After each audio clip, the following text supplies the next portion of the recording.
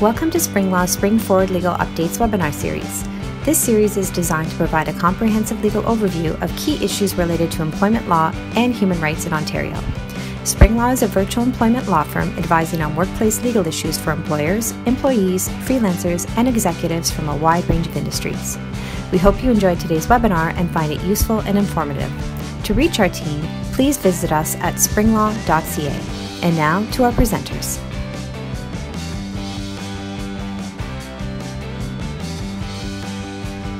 Good morning, everybody, and welcome to our first Spring Forward legal update for 2023. My name is Lisa Stam, one of the lawyers here at Spring Law, and today I'm presenting with my colleague Emily Sue. Um, if you are one of our clients, you already know that we are employment and contracts lawyers at our virtual law firm based out of Ontario, but we um, assist nationally. Um, we welcome any of those that are new to our webinars.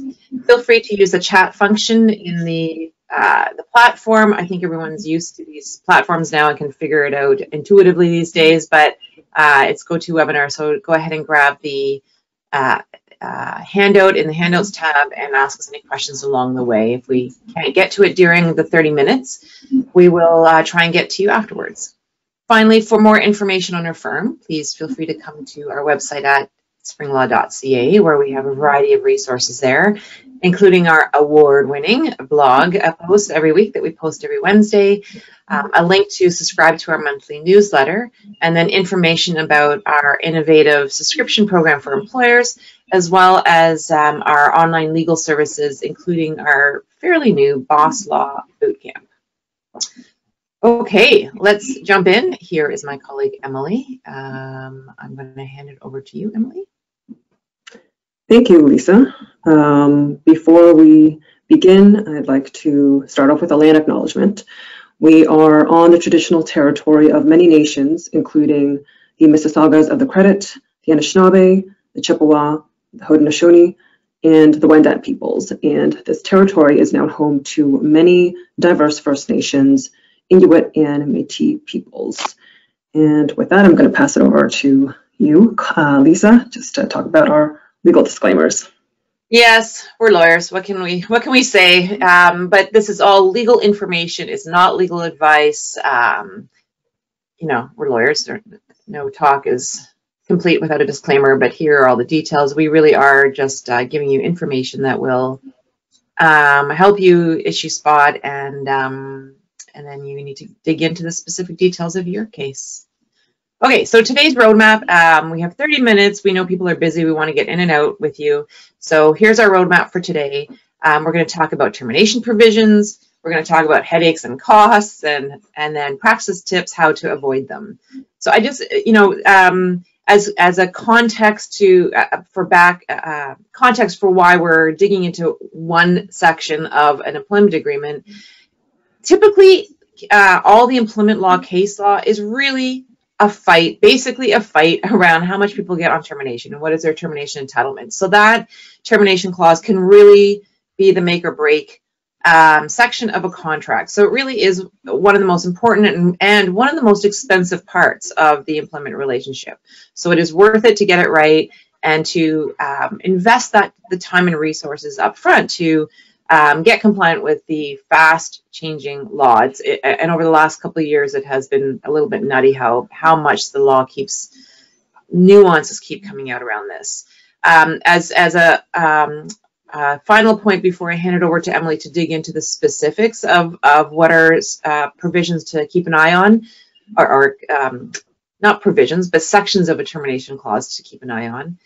Courts will not care if you intended to give more in the contract than what you actually wrote down, or if in the end you did give more to an employee, what courts are going to look at is is the actual document compliant? And then they'll decide whether or not to set aside the provision if it's not compliant. So they will not fix your contract to bring it into compliance, which is why we spend all this time up front being clear about what what you need to get right in the first place. And I, you know, we deal with a lot of U.S. clients that have operations in Canada, and so this this idea of redlining a contract to bring it down to what would have otherwise uh, been in compliance that doesn't exist up here. Courts will say you employer should have gotten this right in the first place, and you can't benefit from that ambiguity or mistake. the employee is always the vulnerable party, uh, and contracts will always be construed in their favor. It's it's why it's, it's probably one of those fundamental philosophical differences between U.S. and Canadian employment law, where uh, it is a much more employee-friendly environment, and employees, you know, they get the benefit of the doubt in any contractual dispute. So, um, with that context and why it matters and why it doesn't matter, you can't fix it later by giving them the right amount. You have to get it right in the contract in the first place. So let me hand it over to Emily, who is going to dig in to the actual provisions. Thank you, Lisa. So I want to start off by providing a brief overview about termination provisions, you know, why you should care about them, red flags to spot. And I know you're all here for the juicy part of the presentation, the practice tips, the practical guidance. So I'll do my best to zip through this section as much as possible. Thanks, Lisa. So before an employee gets terminated, many employers, most employers, will think about what termination package to give to their employees. But contrary to popular belief, the two weeks notice that you sometimes hear about, may not actually be sufficient in uh, Canadian, under the eyes of Canadian law for those of you who are outside of Canada, um, maybe some of you who are uh, who have workforces in Canada but are located um, headquartered maybe in the US. So then the question becomes, how do you know how much an employee is going to get, what they're entitled to? A good way to think about it is to keep in mind that there are three main sources that dictate what an employee is going to be entitled to on a termination without cause. The first of which is statute. So you want to look at the minimum standards legislation. In Ontario, for example, that is the Employment Standards Act 2000, also more popularly known as the ESA. And the minimum standards legislation will set out the absolute bare minimum to which an employee is entitled, no matter what. So this an employee is going to get this on a without cause termination, no matter what. The second source of an employee's entitlements is common law, um, and that is basically judge-made law. And judges in Canada are very employee friendly, um, and they've typically awarded anywhere between one to even 24 months or more of notice um, for indefinite term employees. And that is a lot. It's a lot to take in. Um, so then how do you how do you get out of that? Can you get out of that? And the answer is yes, uh, you can get out of that. And that's what we're here to talk about today, um, which is contract. Um, next slide, please. Without a contract, your indefinite term employees are entitled to common law notice and your fixed term employees um, are entitled to the balance of the contract, which can be quite a bit. And it, in some cases, uh, for smaller business, it can it can come at quite a, a really big cost. Um, so what can what can a contract do for you? Well, it can provide protection and even though, so even though you can't contract out of statute, out of the minimum standards legislation, you can contract out of the common law, which is a good news. Um, what termination provisions um, in employment contracts can provide is certainty of terms for both parties. So after a termination, but before lawyers are dragged into disputes about termination entitlements, often the parties can still at least try to point out what was agreed upon at the beginning. And that can make quite a big difference when it comes to how long the dispute is and how expensive it gets. Next slide. So most employers I've worked with lean towards limiting an employee's termination entitlements in a contract to the minimum standards requirements. Um, so that might be as low as one week for shorter term employees. It really does depend often on the length of an employee's um, employment uh, of their service. Sometimes you'll see contracts that contain termination provisions providing greater than the statutory minimum. So this is usually for higher level employees. Um, the contract might say something like the employee is entitled to two weeks of notice per year of completed service on a termination without cause. Um, in uh, another situation in which sometimes you'll see greater than statutory minimums in a contract is if an employer is trying to lock in a desirable candidate and just to sweeten the pot, they might give them more than stat minimums in their contract. Next slide. And as some of you might know, many termination provisions are unfortunately unenforceable. Um, and I'm going to give you some tips in a minute just to how to spot red flags and, and look at language that invalidates termination provisions. Um, and just to keep in, it's good to keep in mind that I'm not trying to give you pointers on how to do illegal analysis. Um, it's always a good idea to get legal counsel because the law is always evolving and what may have appeared enforceable last year may appear less so this year. Um, but it's important to help understand, help you understand and, and create a framework for how to understand that there are many issues that could pop up in an employment agreement. On to the red flags. Next slide. Thank you. So a lot of, um, if a, a, lot of contracts will contain termination provisions, um, they'll contain language that try to contract out of the minimum standards legislation. And if this happens, the entire termination provision may be found to be unenforceable. And that's really important to keep in mind. Um, and so a court will look at termination provisions that appear anywhere in a contract. Um, it might, you know, you might have with cause termination provisions, without cause termination clauses, resignation notice period clauses, clauses that address probationary periods. They're all considered to be termination uh, related clauses. So they're all, they might be looked at as a whole. So it's important to ensure every aspect of it, um, of these termination provisions are valid and enforceable. Next slide.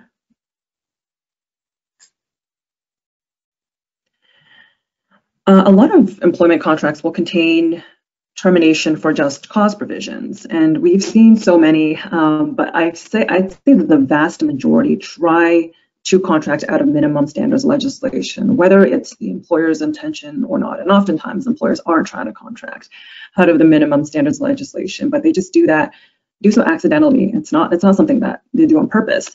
Um, but as Lisa said that earlier, it's uh, going to be the contract, the language itself that a court will be looking at, rather than the intention of the employer when they're interpreting whether or not an employment contract contains enforceable or unenforceable provisions. Um, I see a lot of uh, just cause provisions that say that um, in the event that an employee is terminated for just cause, they're entitled to nothing or something along those lines. Um, but then courts will consider the question, um, you know, what does just cause mean? And in some jurisdictions, you look at the actual minimum standards legislation, and the words just cause or cause isn't actually defined. Um, in other cases, um, a termination provision might say that um, the employees um, can't, if they get terminated on a just cause basis, they won't get anything and um, and then the employer tries to list out all of the different situations in, which an employee can be terminated for just cause. Um, but in this, the relevant statute that applies only restricts certain actions that an employee uh, commits in order for that employee to be terminated for just cause or getting nothing. Um, and the employer is trying to expand the list. So that's something that a court will be looking for and trying to figure out whether or not uh, these termination provisions, provisions are enforceable. And these are very tricky, so you want to be careful and get legal advice where you can. Uh, next slide. Well, and this is the whole Waksdale case. So for anyone who's heard about the case of Waksdale that came out in June of 2020 that flipped everything upside down for uh, the world of HR law, the problem in that was that the without the with cause section, you know, it, it expanded in Ontario what our definition of um, of a, a, a termination is, a, a, just cause termination is, and it it, it based it inadvertently contracted out of the Employment Standards Act in Ontario, and because it was you know part of that termination section, it knocked the whole thing out. So, and in that case, that employee wasn't even being fired for cause. It's just that the um, employment lawyer for the employee argued that it was um, knocking the whole section out. So this is where this this um, has become a really hot live issue of looking at the with cause section to um, see if the whole without cause section is enforceable. And it, it's not intuitive to any of us yet because uh, in, in real life it doesn't make much sense, but this is how the contracts are being interpreted by the courts. On the other hand, um, you have without cause sections. So we talked about just cause with cause provisions, um, but without cause sections can also cause problems. And many, I've seen many without cause provisions that, for example, say that an employee won't get benefits during any notice period or or say that an employee is going to get maybe two weeks of notice per year of service up to a maximum of X weeks. Um, but that maximum is actually less than what they would max out at under statute. Um, or maybe the provision will list what an employee will get on a termination without cause, but then it you know, sort of accidentally maybe excludes certain statutory provisions or statutory entitlements rather. Um, so in Ontario, employees are not only entitled to notice, but they're also entitled to a lump sum payment of severance. Um, and sometimes you'll have a contract that inadvertently um, contracts out of that by not referencing at all. Um, the list goes on. I mean, if a contract has these not so great clauses, an employee might be entitled to common law notice or even um, the balance of the term, depending on what kind of contract they have. So it's important to keep all of this in, in mind and just know that there are um, a lot of issues that can come up with termination clauses.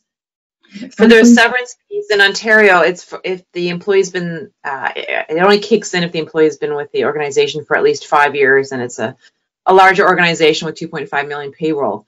But so it, what we do run across is smaller employees and the employee's only been there for a year or two.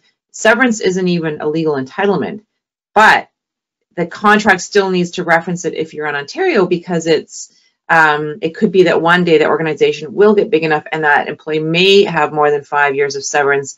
And so to, to not properly reference it is a way of contracting out of the ESA. So just as an example of, it doesn't matter if in the moment that you terminate someone, whether or not they're actually exceeding these ESA um, or um, uh, minimums or coming under it or above it, uh, depending on the issue. Um, it has to be right um, in a, uh, in, um, universally. We're seeing lots of great questions come in. So let's get through all the red flags and then we'll start answering them because there's, um, and I'll shorten the next section in order to address some of these questions that are coming in. Yeah, there are a lot of a lot of red flags and a lot of um, a lot of issues that come up. So it's always good to get a, an employer's eye or a lawyer's eyes rather to look at it just because they're so complicated. Um, to, to, conclude the red flags, um, sometimes I see contracts that have blanket statements, and you might see them in your contracts as well, that say something like the employee will get nothing, save and accept as required by the applicable statute, or or something along the lines of even if the employee's contract contravenes a statute, the employer will at all times comply with the statute and the employer intends to comply with the statute. Um, as you know, courts will look at the contract itself and not the employer's intentions when drafting the contract um, often. And so many courts have found that these provisions don't actually do anything to save contracts uh, that try to contract out of the minimum standards legislation. So it's important not to be fooled by thinking that saving language will um, will work. And uh, and just as a final note, it's um, always remember that termination provisions can appear anywhere in the contract, even if it's under a heading that has nothing to do with termination. So long as termination is addressed, um, it will be considered to be a termination-related provision that is going to receive a lot of very in-depth scrutiny by courts. Um. Okay, let's talk about headaches and costs for a, a moment. And like I said, I'll go through this quickly just so we can get to the questions. Um, the, so the what happens when that termination provision is invalid? Uh, the impact will really depend on what kind of contract it is. So if it's an indefinite contract, which means you know, a permanent one, you know, uh, and and permanent whether or not it's full-time, part-time, salary, hourly, none of that matters. It, it, it, the, the main buckets are, is it indefinite or is it a fixed term? All to be distinguished from an independent contractor agreement, but that's not what we're talking about today. So these indefinite contracts, the the most expensive moment is when you're ending the contract. And if the contract termination provision is not enforceable, what the courts will do is they will set aside that termination section and they will substitute in common law. So, you know, the goal is to roll out enforceable contracts. It can be minimum standards if, if you're an employer that, or the rule itself is very front line, for example, and you're going to offer up only minimum standards upon termination. It can be that, or it can be, you know, minimum standards plus a week or two for every year of service. Um, if it's more senior, often you see three or four weeks um, uh, of, of notice or pay in lieu of notice for every year of service. So the contract tends to be some some middle ground between the minimum standards and what the common law would award. If the contract is set aside, however, the court will substitute in common law, and that's that you know one to 24 months. Uh, just recently, actually, um, you'll start to see some headlines that the the um, another case has come out where it was more than 24 months. We're starting to see a handful. There's probably still maybe a dozen out there, but but there are some extenuating circumstances where it may be more than 24 months. But I, I think right now, most of the time, your ceiling is going to be around 24 months, but that that can really add up. The other uh, impact uh, is if it's a fixed term contract, the default legal position is if the termination, if you have to fire someone in the middle of a fixed term contract, basically you're ending the contract early, um, the default legal position without any provision saying otherwise is that that employee gets the balance of the contract. So if you fire someone in month, let's say you, you hire someone for a one year contract and it's not working out, you fire them in month three, the default legal position is they're entitled to the remaining nine months because the deal wasn't that they were um, going to work for a year uh, under this contract. The way around that um, and the, and a reasonable way around this is that you have a termination provision in there that says if if the contract's terminated prior to the end of the fixed term contract they'll get x whether it's minimum standards or some sort of you know week or two or three per year service. I mean it's a fixed term so you would typically have you know a month or or some sort of um, amount in there if it has to be um, um, ended earlier. So the, the impact on having an unenforceable termination provision depends on the type of the agreement. Um, and as you can imagine, for the indefinite, it will really depend on how long the person has been with you. The liabilities, oh, go ahead, Emily. Just to, sorry to interrupt, but it, for those of you who are wondering why employees are, you know, some situations entitled to so much, it's because, and why courts are so employee friendly, it's because they see that there's this sort of imbalance of power, the power difference between employers and employees. And they're based on that kind of understanding, they're trying to you know, equalize um, that, that uh, imbalance of power. Um, and so they are typically more employee friendly. And that's kind of uh, just a little bit of a little bit of information about why all, all of this seems to you know put so much uh, on an employer um, and yeah. making sure that an employer gets everything right. Yeah, there's no wiggle room, unfortunately.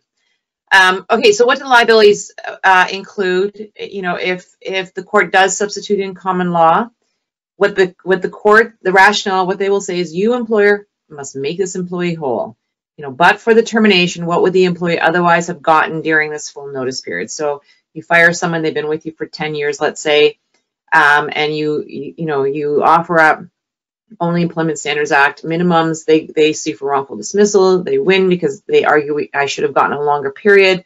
Let's say the court substitutes in 10 months. The court will say you employer now have to continue during that 10 month notice period anything that he he or she would have otherwise earned. So base salary for sure, but um, continue benefits if there was pension and benefit contributions. Um, is there any accrued vacation, um, commissions, uh, non-discretionary bonuses? And then where we start to get into all the battles is you start looking at the plan documents. Does that include equity? You know, is there a vesting cliff in there somewhere? Does it, you know, um, is there regular salary increases that they always get automatically? Um, any any promises that they were going to get something next month and now they're not. So this and that's that's why employment lawyers are busy because there's just a lot to fight over about what we mean they're going to get during the notice period. So let's pop over to practice tips. Um, and then uh, and then we'll still have a, uh, five minutes to get through some of the questions. Thanks, Lisa. So you're probably thinking that all of this is quite a bit. Um, it's quite a lot. And maybe throughout this presentation, some of you are realizing that your contracts might contain a red flag or two, or maybe are full of red flags. You're worrying, you know, what should I do? What do I do next? Um, well, the first thing to do is to take a step back and um, take a deep breath and uh, and ask yourself, first of all, do your employees have employment contracts? The answer to that question is no, now is as as good a time as any to get them in place. Um, and you want to make sure you get a lawyer to help with that because it is, excuse me, it is a real minefield. And what lawyers are trying to do is design something that gets around those those mines. Um, if you do have employment contracts in place, it's still a good idea to get lawyers to take a look at them. Um, and this is the case even if a lawyer drafted them or reviewed them you know, over a year ago, because um, as we mentioned before, employment law, you know, there are always nuances that are coming out and it evolves quite rapidly. And I think it evolves rapidly enough that it justifies an annual review at the very least to ensure that your contracts uh, are enforceable. And as a part of that, it's also a good idea to distinguish between your existing employees versus your new hires when you're when you're thinking about giving people new contracts. Um, they typically aren't going to have the same contracts. Unlike new hires, existing employees have to, in order for them to sign off on a contract, they have to get something known as fresh consideration, which is a legal concept and and basically means that they have to get something extra in return for them signing this new contract. So your new hires and new employees, in exchange for them signing the contract, they're going to get the job, they're going to get compensation, um, and they're going to provide you with services. But your existing employees, they already have the job, they already have the compensation. So in order for the contract to be valid, they have to have something extra, this fresh consideration, and that can range from, you know, um, extra vacation time to a signing bonus to a moderate raise, maybe even benefits if you don't have those in place. To really use your imagination with this one, but it should be of value to the employee in relation to their circumstances. So maybe a Starbucks gift card for a CEO may not be may not be sufficient. Um, uh, so these are just some some some tips to keep in mind. Uh, and I'm going to hand it over to Lisa to talk about how to put these practice tips into practice. Yeah, just a quick practice note that uh, it's a difference between U.S. and Canadian employment law. Also, is that that mere continued employment is not sufficient consideration, right? Whereas I understand, and I'm not qualified to practice in the U.S., but I understand that um, the ongoing ability to work at the employer is consideration. So if you're working with HR headquarters that are based out of the U U.S., that's something to just comment that if you're going to roll out new contracts that contain the termination provision and take away a right, basically, take away common law, um, you need to give them something in exchange for that. Okay, so um, a lot of the questions coming in are how do we do this? How frequently? Um, what should it look like? Um, uh, if it's not in compliance with other clauses, how do you fix it? So here, here is um, our way of really listening to our clients and trying to roll out options around how to make this more cost and time effective for employee uh, employers. So um, we have a number of um, integrated online legal services that um, you can uh, purchase on our website to grab one of our templates um, and and and work with that document to cross-reference with your own. And then, you know, pull in 101 legal services at the end of that if you still need it. But over the years, you know, we've we've just heard from our employer clients, how do we do this in a more cost-effective way internally? How do we build out our internal system so that we're not always having to go um, to the uh, often more than anything time-consuming process of having a lawyer nerd out on our contracts. So this is a way of of pulling in an internal resource and being able to do that internally. It's not pure DIY. You know, we're always still here for any um, ongoing um, help that you might need. But this allows um, employers to work at their own pace of, around how they would like to keep their own contracts uh, enforceable. We are in a tough moment um, when it comes to the enforceability of our contracts right now. It, it is, uh, the case law is hopping. I think this is all a a product of post-COVID, of lots of complications around, um, you know, uh, these leaves that are wrapping up, of people looking at frustration issues, at, at um, our labor shortage, and and now inflation. We're we're just still sort of dealing with the aftermath of an unprecedented pandemic. and and the courts and the case law is just looking with more scrutiny at termination provisions. Um, so this is a, um, a, way to help do this in a cost-effective way. Our firm actually recently has has done a number of roundtables with our lawyers to to look at our employment contract template and really attack it from a, an employee lawyer perspective to just really drill down to what we hope is um, a great version of this for today. I, I fully acknowledge a new case might come out tomorrow, but right now, you know, we're we're quite happy about it. Um, and so, you know, um, feel free to contact us about that. So let me let me get to some of the questions. So, um, and some of them might have been answered in the course of the of the talk. So, if I have a termination clause that says the employee is entitled to ESA only, are they still entitled to common law? Not if your contract is enforceable. It's totally legit, especially for certain roles, to only offer up Employment Standards Act or code, you know, minimum standards um, often about a week per year of service, up to around eight weeks. That's for most of the jurisdictions in Canada.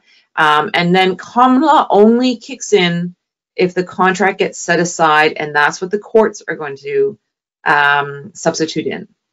Um, does a termination clause, um, if it's not in compliance, okay, wait, does a termination clause being not in compliance clause, other clauses, Emily, can you see this as well? If it's no does the termination clause being not in compliance cause other clauses to come into question? So I oh, think that this is, yeah, this is um, typically, I mean, it, it can, um, but it's usually going to be the other termination related clauses that are going to be kicked out, not necessarily, you know, your hours of work provision or, or clauses that are going to be kicked out just because your termination clause is um, is not enforceable. I think this is um, this is definitely something that is ongoing um, as, as, a debate in the in the courts. But um, as of right now, I would say that um, enforceability is restricted when it comes to uh, interpreting termination provisions, restricted only to other termination related provisions. Okay, great. Um, does a severability clause help with that or not anymore? So um, that's similar to a, a saving clause where uh, Emily already talked about that, so I won't repeat that actually. Um, this is a really important question. Can an employee argue that they didn't know what they were signing off on when they were signing the employee contract? And this is especially, I think, important when you're going to roll out a an updated or new contract to an existing employee. It is important in that situation to really point out and never try and hide the fact that you're rolling out um, a, a new termination provision. Um, you don't need to give them legal advice on this or, you know, uh, but encourage, like, encourage them if they want to go get um, someone else to take a look at it. That's important. Um, but you you don't need when it's a brand new candidate that you're hiring you don't need to explain we're only giving you statutory minimums. If this gets set aside you're going to get common law. So you know you don't need to go into that level of detail. It is totally fine to have a termination clause that's only statutory minimums. And it's kind it, it just a little bit is buyer beware a little bit on that front is when an employer tries to trick someone you know or if it's seen that way so if you hide it or you give disingenuous answers or you know, but if an employee asks you, well, can I get a week per year of service? You can, or, you know, can I get a month for every year of service in my termination provision? You can say yes or no, but um, it's it's part of that conversation. So you it, you do not need to tell them that that um, they're signing off common law. You just need to be forthright about what you are offering up a new candidate. Um, the other, go ahead, Emily. Yeah. It's also a good idea to give your employee a bit of time, your prospective employee a bit of time to get legal yes. advice. So your, their lawyer can explain to them that they're only getting stat minimums. I, I we usually recommend, you know, about a week um, of time for the employee to go get legal advice and, and review the contract in detail. Um, if you're having them, if you want them to sign the contract, you know, it's a 10-page contract and you want sign it in five minutes, you know, on the spot, then it might not, the contract itself might be, might not be seen as valid because they had to sign it under duress. So, um, you know, just being, I think a lot of this come down, comes down to common sense um, and what you think is, you know, what somebody might think is reasonable. And, um, and so giving them some more time and, and, you know, if they're asking whether or not they should get a lawyer to look at it. I mean, not not discouraging them from doing that is um, it's going to be beneficial in the long run most of the time. Exactly. Yeah. Um, when we say common law, is that just the Bardal factors, which is a case from the 60s that is still the leading case on this, or other things or common frameworks considered or used? So it's it's common law is the is is case law. It's it's judge made law. Our common law system is this collection of case law where judges are are bound to precedent, so cases that are are decided before them, and so it's this incremental change all the time. What what the underlying legal rationale always will be is what kind of cushion does this employee need to get to their next job? So, you know, and and and to answer that question, they'll look at things like the Bardal factors, which are age, length of service, nature of employment, etc. But really, they're always looking ultimately at what cushion to get to the next job. So, a uh, good question about what what actually is common law. Sorry, we should have clarified that. Um, is okay. Here's uh, I I see the time, but I know that these are uh, uh you know drop off if you're if you have somewhere you got to get to, and you can pop onto our YouTube channel um, to grab the um, the recording of this to hear the end if um, you do have to pop off. Um, another question here is when you, uh, sorry, can you please clarify, is it better to list reasons for cause or not?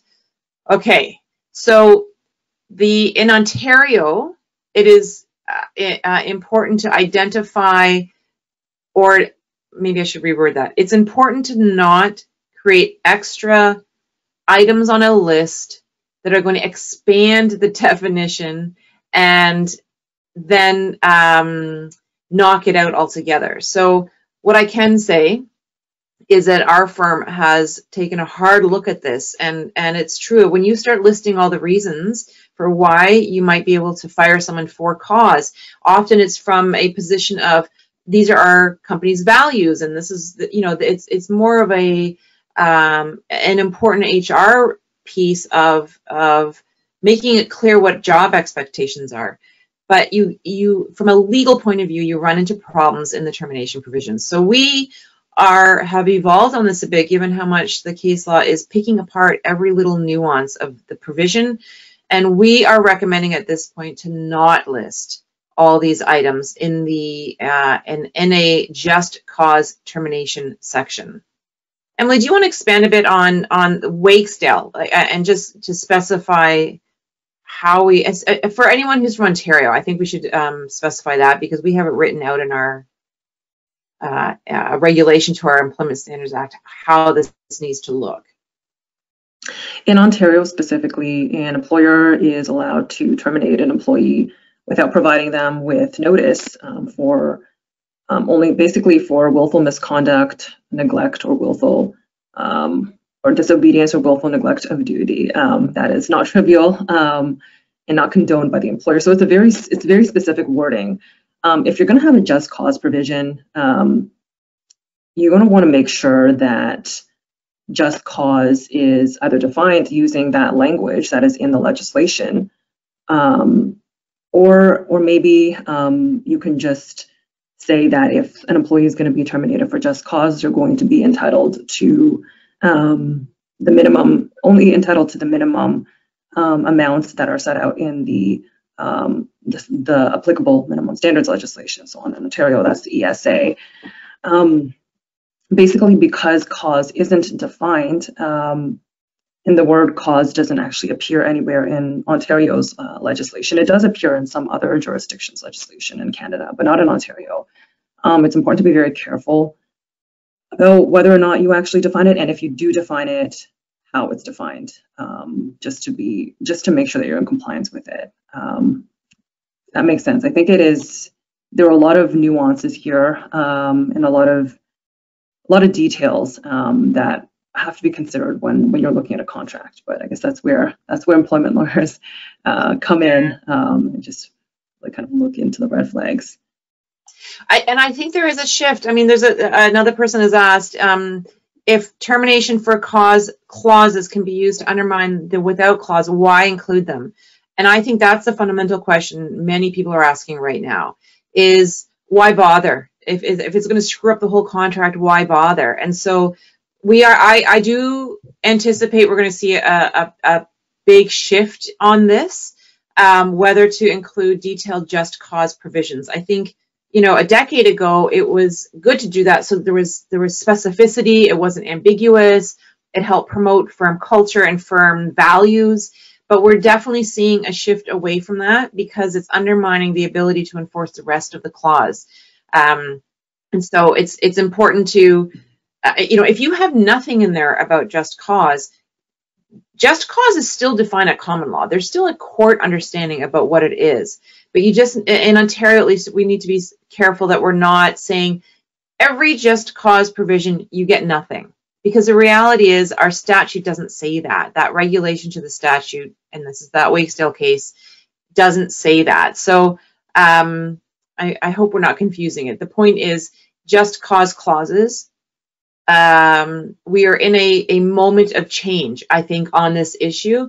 And we are no longer recommending that you put in a detailed version of this at all because because of, of how much it threatens the rest of the without cause termination. So um, it's it's why we're you know we're we're pushing our employment contracts right now because we think we have come up with a good balance of of still saying you can't you know that we that we employer um, reserve the right to fire you with a cause but uh, within the termination provision itself. So, um, and then one final question, when giving out new contracts you, um, at raise time, for example, can this be, um, wait, when giving out new contracts to existing employees, you state at raise time, can this be the annual increase that everyone is getting? So this fresh consideration issue, if you're looking to update your contracts and you've got someone coming up for a promotion, for example, and they're going to get a good raise, that's a great time to roll out a fresh contract to them because they're getting consideration through that that moment in their in in the uh, career. If everybody every year always just gets a cost of living increase, for example, that may not be sufficient consideration if it's a thing they would have just always gotten. So it, I, I, I hate to say it depends. I avoid that, but I do think consideration has to be something extra that a person is getting in exchange for this new contract. So if it's something they otherwise always would have gotten, it's not extra anymore.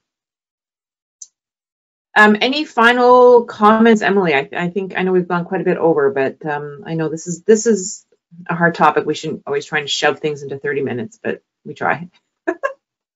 Yeah, it is. It is a it's a big topic. It is really the bread and butter of many employer employment lawyers' practices and the key source of many employers headaches. Um, and and you know, as we always say, it's it's good to you know maybe spend a little bit up front to get enforceable contracts to make sure that you're avoiding you know maybe a ten thousand or hundred thousand dollar problem down the road um, and many nights of lost sleep. So um, yeah, so that's, that's, what we do, and uh, and we are very familiar with this. Um, but uh, yeah, definitely lots of lots of nuance and and lots to talk about when it comes to this subject.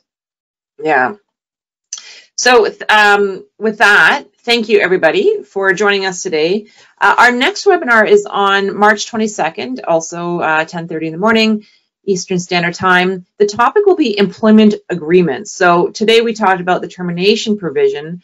The next webinar, we will talk about all of them, all of the sections in the agreement, um, and, and really uh, talk more holistically about how all the other things fit together. We'll identify some of the red flags or more commonly um, headache generating provisions uh, to take a look at. So that will be in our um, uh, next um, session, including how to sync those up with your um, manuals and policies and that kind of thing. So come visit our website if you want to stay in the loop generally. Um, and if you um, want to check out our other webinars that we've done on different areas of law, please come to our YouTube channel, follow us on social, um, sign up for our monthly newsletters, and hopefully we'll see you next month at our next webinar. Thank you very much for joining us today. Thank you, everyone.